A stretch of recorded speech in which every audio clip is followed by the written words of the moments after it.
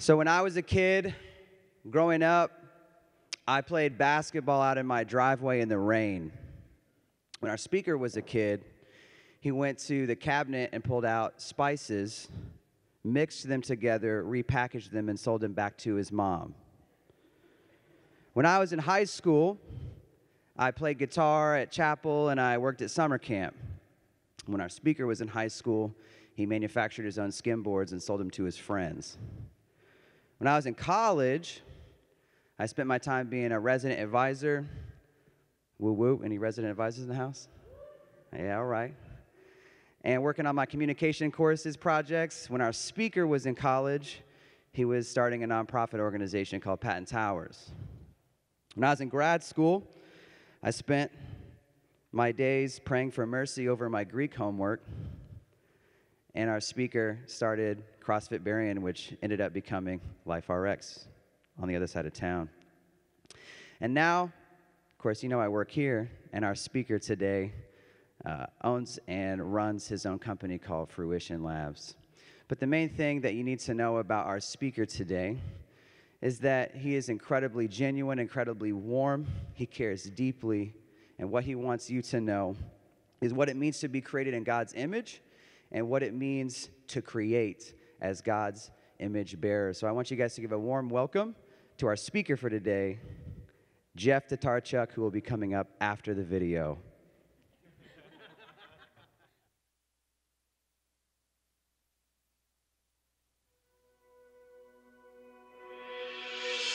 My dad says entrepreneurs are responsible for everything around me, from the technology I use to the clothes I wear and the food I eat. He says I should be grateful for the entrepreneurs that have come before me because starting something from nothing is extremely difficult. Many do it against all odds. He says entrepreneurs are the courageous ones, the ones that never give up, never give in, never, never, never. Starting something new takes heart. It takes believing without seeing. My dad says that's faith. He says every organization you see with 10 people, or a 100 or a 1,000, started with just one. One amazing idea, one brave soul, one perfect partnership, one humble beginning, one heroic mission. And because God inspired the one, the one inspired millions. My dad's an entrepreneur, and someday I'm gonna be an entrepreneur too. And so I pray. Dear Lord, the battles I go through life, I ask for a chance that's fair, a chance to equal my stride, a chance to do or dare. If I should win, let it be by the code, with faith and honor held high.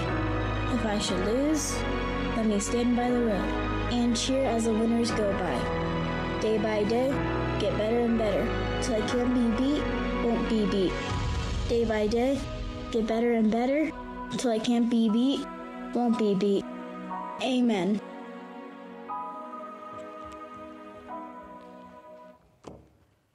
Good morning. How's everybody doing this morning?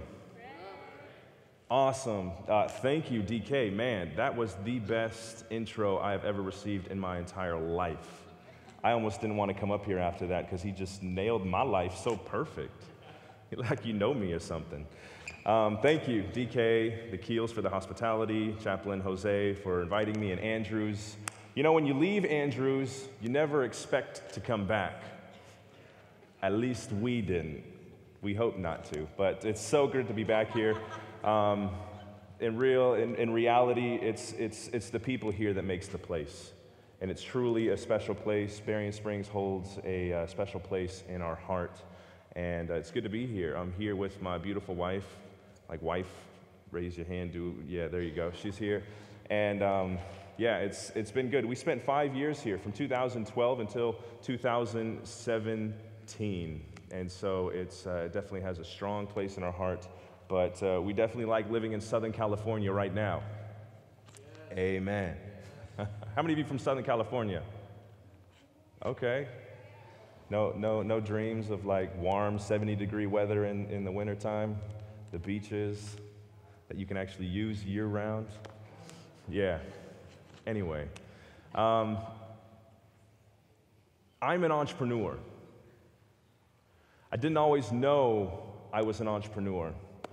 As a matter of fact, when I was growing up uh, in school, I, I wasn't really the type of person that fit in in the classroom. I was diagnosed with ADHD, ADD, dyslexia, delinquency, all these different things because my teachers and parents couldn't figure out what to do with me. They couldn't put me in this box. And so I received all of these labels, and these labels made me feel like, well, I just don't fit in to society. I didn't know that I was an entrepreneur. I was also born and raised in San Bernardino, California. How many of you know what I'm talking about when I say San Bernardino, California? Yeah.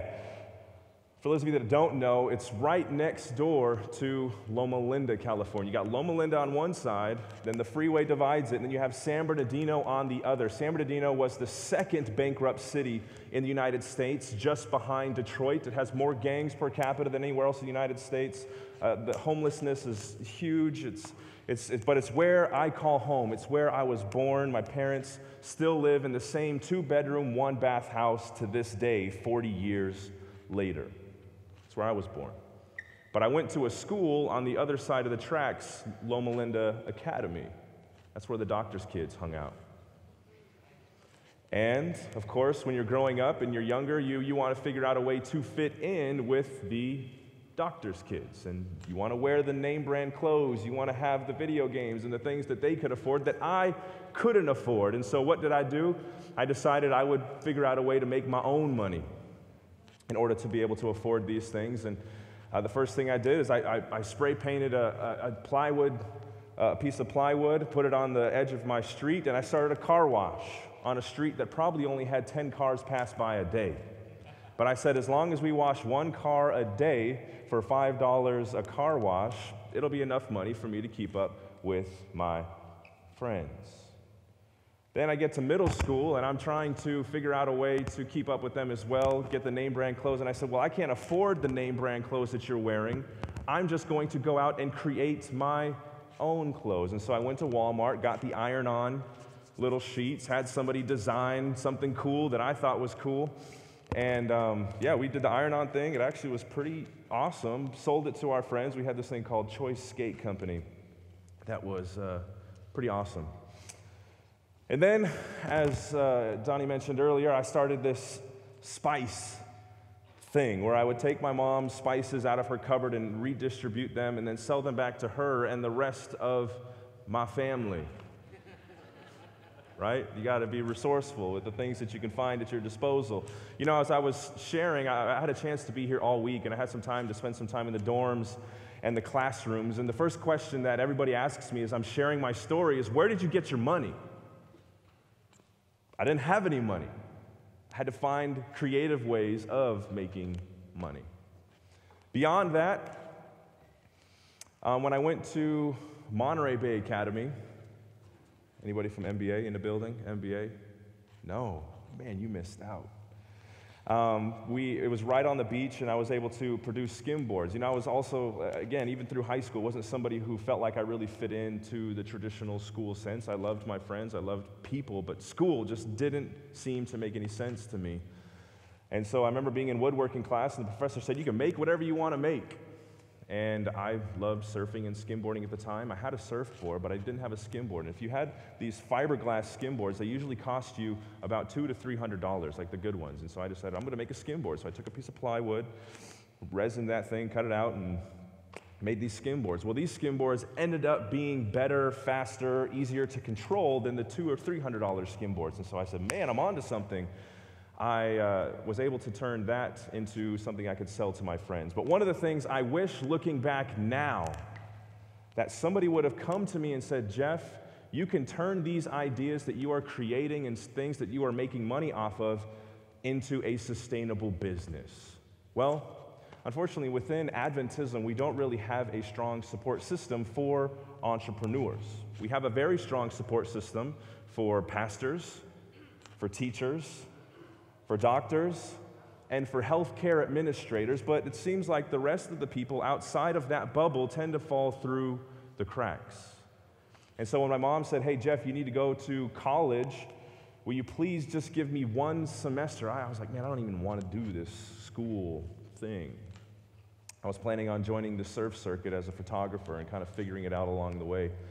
I didn't think I'd make it through school. I never thought I'd make it through high school. I never thought I'd make it through junior high. And especially, I didn't think I'd make it through college.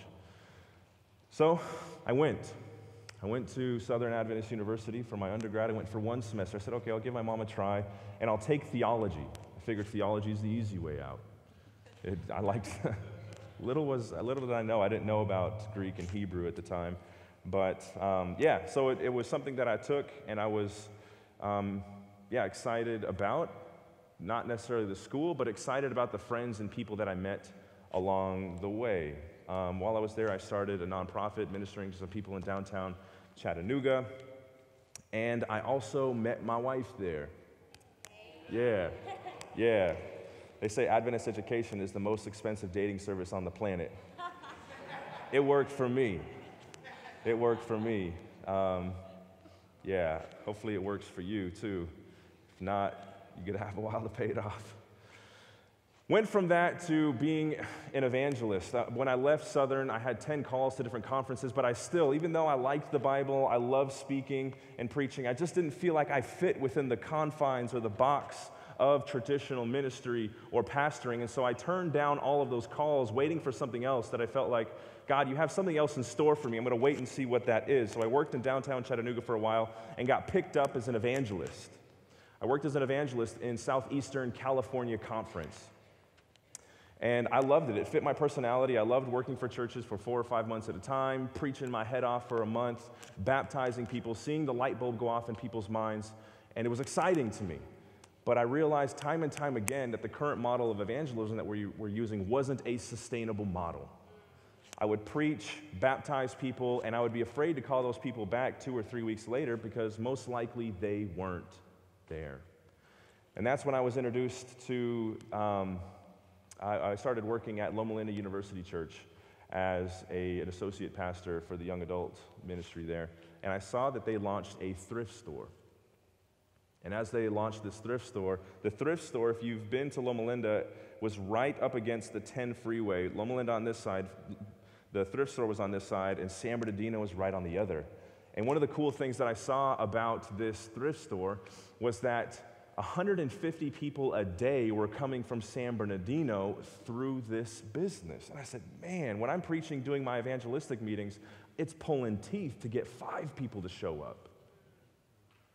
But these guys are just opening up their doors and people are coming through and it's profitable. They were making, they were doing $15,000 a month and they had a, a surplus of money by the end of the year. And this was run by a ministry. And so I said, I get it. Entrepreneurship for me was a sustainable way of reaching the community, making an impact, and building relationships with people around you. So at that point, I realized I am an entrepreneur. I'm built for this. I've started things, I've created things, and things continue to develop and evolve.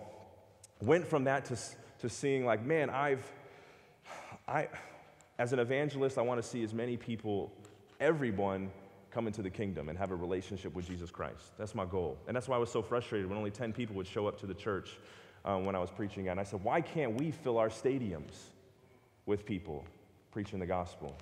And well, one of the reasons why is you need money to fill a stadium and attract and do the marketing to fill a stadium. And so I said, okay, well, I'm going to start creating some other things that will uh, create a sustainable economy in order for me to do this thing. So we started doing mud runs. Anybody ever done a Spartan race? Spartan race, Spartan race, some of you? Those are like those crazy mud run adventure races. You might have seen them.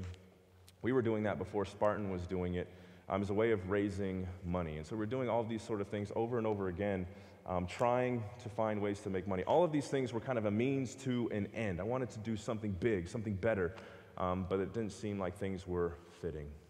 Uh, went from that to doing this thing called, uh, created a, a, Bible study series called TruthLink Bible Study Guides. Have you ever used those Bible study guides? Yeah, we, we created those and then sold them to um, Light Bearers, and Light Bearers is using those to this day. I went from that to, okay, the conference that I was working with in Southeastern said, it's time for you to go to seminary. And guess what my heart did? Cried, Cried. sunk. Not that I have anything against the seminary, it's just uh, it, the thing wasn't for me. And so I, I went but I decided this is what I was going to do. Because I liked thrift stores and I saw the impact that the thrift store had in my local town, I said, huh, neighbor to neighbor is only open two days a week. I'm going to open up a thrift store that's open five days a week. Um, because the closest thrift store, or Goodwill or Salvation Army, was 10 miles in either direction, I'm going to see what happens. And so we opened up the goods uh, about six years ago. And uh, within a year of that, while I was in school, I um, yeah, went from that to my business partner, who was working with me at the time, had a brain aneurysm. And so we weren't able to continue running this business. Now, I'm in seminary. I'm known as this guy who has started a business while I was in school and doing all these other things. And I had felt like I was a failure. I felt like I had failed because we had closed for an entire summer and went from closing to gaining a lot of weight, you know, because we only have Taco Bell, Pizza Hut, McDonald's, and baguette. And I had put on a lot of weight until one of my seminary buddies introduced me to this thing called the burpee. You heard of the burpee before? It's how the fitness community has turned falling down and getting back up into a fitness regiment. and so we quickly decided well, we can turn our thrift store into a CrossFit gym just because we needed a place to work out in the, somewhere warm to work out. I just wanted to be able to pay off my lease, ride out the expenses until I was done with seminary, and then my wife and I would move back to uh, Southern California when I was done. Well, we were able to meet our expenses the very first day we opened and break even by the end of the month. And I was like, shoot, didn't expect this. We're on to something here. Um, the, the cool thing about it was my wife showed up the very first day. She said, I'm going to do this and I'm going to do Pilates. And if any of you have ever done CrossFit before, they are polar opposites of fitness regimens. And so she said she was going to do both and uh, ended up coming out to CrossFit our very first day and never left. And so she started growing, became a coach, became the director of the gym, started running the gym, and it became this beautiful thing that we were able to go from that to partnering up with someone in the community, buying the building, triple our size, and its Life RX is what it is today. Not what I expected, but amazing nonetheless. Now, what do I do? We decided last uh, summer that we were going to sell our portion of the business and move back to Southern California. One of the things along the way that I get excited about is seeing people be able to take their ideas and make them a sustainable reality.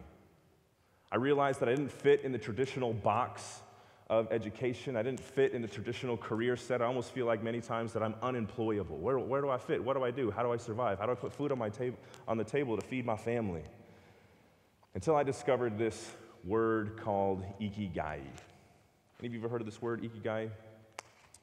Ikigai comes from Okinawa, Japan. There was a study that was done by National Geographic on the blue zones. And the blue zones are the areas in the world that have the highest concentration of people that live over 100 years old. One happens to be Loma Linda, that's where I'm from. Hopefully that still works out.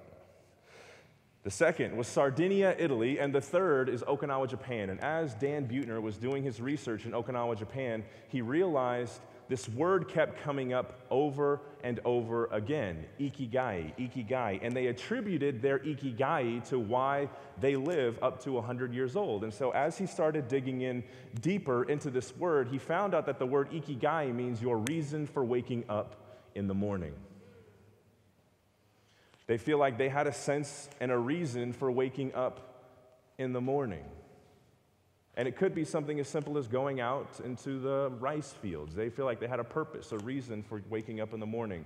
Um, do you feel like you have a reason for waking up in the morning? Why do you wake up in the morning? And so, as I was digging in a little bit deeper into this concept of ikigai and kind of identifying what it was about my life, um, as the researchers have come together, they say the ikigai are these things. Put up the thing on the screen. It's being able to take how to identify your strengths, figure out what your passions are, how you're going to make an impact in the world, and ultimately get paid to do it. So, pursuing your passion, finding your mission, figuring out your profession, and your vocation or your calling. And at the center of all of those things is your ikigai. And when you find that, it's kind of this secret sauce to longevity. It's ultimately your purpose in life. And so I felt like, man, I didn't feel like I fit in the traditional scheme of education, career, jobs, and all those other things, but I do feel like I can understand what my ikigai is because I understand what my strengths are. I understand that I am somebody who, uh, who is an ideator. I come up with ideas all the time and implement them. I am an entrepreneur. Now, I think it's, it's awesome. There's this text. I got to read it to you. It's in 1 Corinthians 7, verse 17. It says, this is Paul talking to the church. He says, Only let each person lead the life that the Lord has assigned to him or her to which God has called him, this is my rule in all of the churches. I love this because he says, only let each person lead the, lead the life that the Lord has assigned to you. To you. Not what your teacher assigns you, not what your parents assign you, not what anybody else assigns you, but lead the life that the Lord has assigned to you. Do you know what that life is for you? Have you discovered what that life is yet? Go to the next text in Proverbs chapter 13, verse 12, it says, Hope deferred makes the heart sick, but a desire fulfilled is a what? Is a tree of life. And to me, this is the essence of what that ikigai actually is. It's discovering what the desire that God has put on your heart is for you, your purpose. And once you discover that, it is a tree of life. And as a matter of fact, it is a secret to your long longevity. And so it's my challenge to you this morning. If you don't have your reason for waking up in the morning, find it. Ask God for it. Figure out what your strengths are. There's tools out there that can be used to identify your strengths. One of them is the Gallup Strengths Finder test. Figure out what your top five strengths are, double down on those things, and then figure out what your passions are. Now, your passions are something, a lot of people say, like, pursue your passions, right? Pursue your passions. Well, passion is a word that's associated with the passion of the Christ, the process that Jesus went through to get to the cross. Passion has a whole deeper association than we make it out today. It's not just this cotton candy dream that we're pursuing, but it's actually something that you are willing to, it's something you love so much that you're willing to suffer through anything to make it a reality. That's what your passion is. What do you love so much that you are willing to go through anything? The scrutiny of your friends, family, what gets, what gets you excited, what gets you moving in the morning? This is your passion. And pursue that. And then what will make an impact in the world? And ultimately, how will you get paid to do it? And that's the idea of the entrepreneur. Now, the question is what is entrepreneurship. What is entrepreneurship? My definition, after a long stint of starting different things in my life, is this go to the screen. Well, this is the traditional idea of what entrepreneurship is. You've seen with Facebook and Apple and Shark Tank, all of these things, entrepreneurship has become in vogue. But what is entrepreneurship? Keep going, keep going. One more. An entrepreneur is someone who has an idea and is able to make that idea a what? Sustainable reality. Now, I used to get really offended when people would say, Jeff, you're an ideas guy, right? Because what does that naturally entail? That I do stuff and just think of doing things without actually implementing those things. But in reality, an entrepreneur is somebody who's able to take an idea and make it a sustainable reality. Somebody who's able to identify a problem, but instead of just complaining about that problem, they come up with a solution to that problem. An entrepreneur is somebody who has a vision of not what things are currently, but as the things that can be in the world. God was also an entrepreneur. God he got together with, with the Godhead and said, Let us create the, the world. This is in the beginning. God created the heavens and the earth. Those things didn't exist before. They started out as an idea in his mind. And then it goes on to say in verse 2 it says that the world was without form and void. God identified a situation, He identified a problem and brought order out of chaos. That's what an entrepreneur does. Keep going. And then he said, I got another idea. After he spoke everything else into existence, he said, Let us make man in our image. I love this because he came down to this earth, pulled together the resources that he already spoken into existence, fashioned mankind into his image, and breathed his life into this thing. Now, it's interesting. a lot of times we, we think that, um, you know, we say, well, we were created in the image of God. And what does that typically mean for people? We were made in his image of love, right? Like we say that a lot. But I think it's very interesting here that I believe that we were all created in his image to be creators. We were all created to create. For instance, I could probably, if I had the skills, I could probably make a table like this. I don't have the skills, but if I did and had the resources available to make it a reality, I could take this as a thought in my brain and make this table, fashion it with this, build the steel out and do whatever to make this thing a reality. However, I can't make this table with the ability to go out and make more tables. When God created us, He created us with the ability to not only create things, but He created us with the ability to create and to continue to create. And I think it's important for each and every one of us to realize the creative power that God has given to each and every one of you. To be able to take immaterial thoughts and turn those immaterial thoughts into material realities. No matter what it is, whether it's a song, a book, a building, a business, no matter what it is, you have the ability to turn something in your mind and make it a reality. I think that's amazing. And to me, that's what I get excited about when I think of entrepreneurship. I think of unlimited possibilities, limited only by your imagination. And I believe that all of us have the capacity to do this. And so this is what's got me really excited today is the ability to encourage entrepreneurs to go out there, take risks, to dream, to build, to create, to network, and to ultimately go out and change the world. And I think each and every one of us has that capacity to do that, to take immaterial thoughts and make them material realities in the world. And so this is really exciting for me. And I'm currently at a place today where we started this thing called Fruition Lab. Fruition Lab was started under the auspices of being able to help people take an idea to market and then from market to wherever they need to be in the world by pulling out people from all walks of life, all stages of entrepreneurship to a place where we can be successful because yeah, it's really cool to see what entrepreneurs can do today and I want to ask a question. How many of you in this room feel like you're an entrepreneur? Like you want to start a business one day, you have an idea that you want to make a reality. Let me see your hands. Awesome. Well, we have really cool, um, an opportunity coming up, and I wanted to invite Jose up, and if we can have, a, yeah. So, Jeff, uh, real quick, there's something about some kind of scholarship. Yeah. Tell me about that. What, what, can, what can we do to help these guys take the next step? So, one of the biggest questions that I mentioned that everybody was asking was um, I have a business idea, but I don't have the money to do it. What do I do? Well, Fruition, we thankfully were given a donation through a scholarship to, we're going to start a competition that's going to be like an American Idol slash Shark Tank. And each university, we're starting with six universities this year, and Andrews is one of those universities where students from this college will be able to submit their idea, and the best idea will get $2,500 uh, seed funding towards their idea.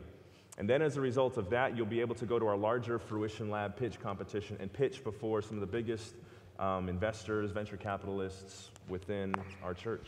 Now, I, uh, what gets me really excited, so listen, if you want some money to, to get your idea to go, uh, submit your pitch. Let's put that up on the screen so where you can submit your pitch. We're going to be uh, sharing more details specifically in the next couple of weeks on how you can do this. Um, when you say entrepreneurs, uh, venture capitalists, Jeff, what has amazed me is some of the Adventists that show up to this room, yeah. and probably people that we don't even associate as being Adventists. How many of you have heard of LifeProof cases for iPhone? It's usually next Tell to us, OtterBox. So, it's next to OtterBox. Tell us about LifeProof. So it's it's the expensive iPhone case. It's the one that's 120 bucks. You go to the Best Buy. Um, LifeProof iPhone case was started by this guy who was an Adventist out in San Diego, California, and was able to sell it to OtterBox for nine figures. Nine figures. That puts it over $100 million. Um, not only that, we have, if you can put up a picture of, uh, there's a big collage of a lot of the entrepreneurs that we have in our, our system. You see it's blocked, but in the far right, top right, um, we have Mike Parnell, who's the CEO of Oakley. Um, we have this guy who, when he was at Southern, started a software business out of his own dorm room, solving a problem at a local hospital that eventually turned into a software company that he sold eight years later. The guy's my age, 31 years old, that he sold eight years later for nine figures crazy. Um, but it's the whole spectrum. It's, it's not just these guys who are selling for multi, multi million dollars, but it's also people who are starting bakeries, people who are looking to succeed in the industry, um, whether it's music, as an author, all these different areas. Our goal with Fruition is to get you connected with the biggest and best people in our circles who have gone before and done it and give you the resources necessary to make your ideas a reality. So this is awesome. This is not just about getting some funding. This is about networking. This Yeah. is about someone to uh, mentoring. This is about consulting. Um, this is a huge thing. I saw some of our students there. Uh, one that stood out was uh, Juan Deely, who we know started this Ubuntu design company, uh, which is taking off. It's an exciting story. Uh, also, Jeffrey Emile, who's based out of Atlanta, uh, moving from a huge photo industry now into film documentary. So we have graduates here who have engaged Fruition Lab. We're seeing their ideas thrive. Jeff, what would be what would what would be the greatest disappointment for anybody who has this idea and doesn't act on it? What what are they missing out on? Well, I think uh, good ideas have an inevitable nature. Have you ever had that said where, where, man, you see somebody else who did something, you're like, man, I had that idea. And I think one of the greatest, um, the greatest obstacles is not being too afraid to implement an idea because you feel like you don't have the resources to make it happen. And that's what we at Fruition Lab want to give people the resources, the people, the capital necessary to make great ideas a reality. Because I believe we have the next Mark Zuckerberg, we have the next Steve Jobs, we have the next, you know, people within Adventism who can solve some of the biggest problems in the world. But um, yeah, and we want to help people make that a reality.